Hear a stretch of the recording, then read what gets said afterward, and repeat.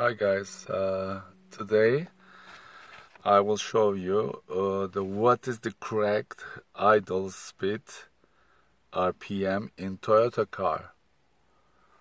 Uh, before I uh, started the engine, uh, yeah, I will try to little bit uh, tell you the guys. It's here the here the yeah RPM that we're gonna check it out and here here the engine. Head now I'm gonna start it. The car.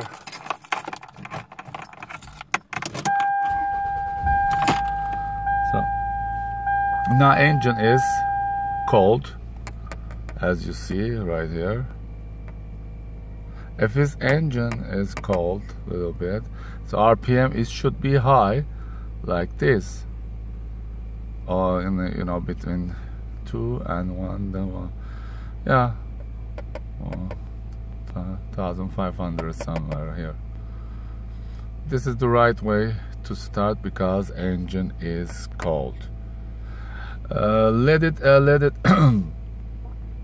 to get hit the engine. After that this uh, idle it should go have to go lower and lower lower and lower and I will tell you the where it should be.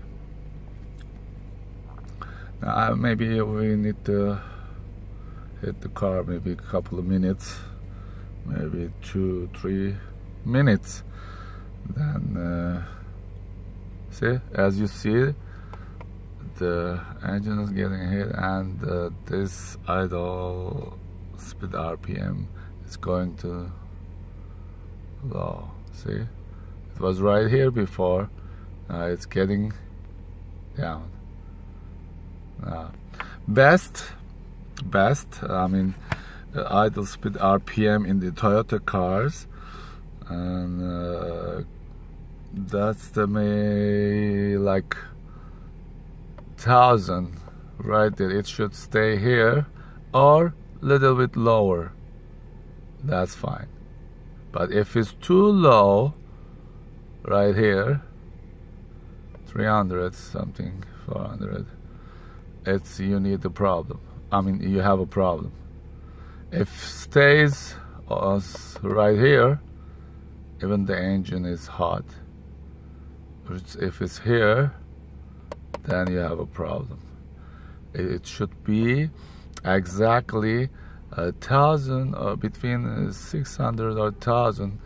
Of course it's thousand is the better but little lower it's it's okay. But too low like 300 or something it's you have a problem and you have to see the uh, mechanic.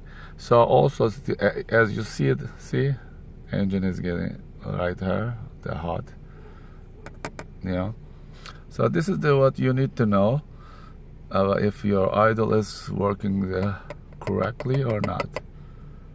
Yeah I hope you enjoyed the video and blessing to you guys and and see you soon. So look look uh it's gone a little bit lower too but it's okay. All right right here.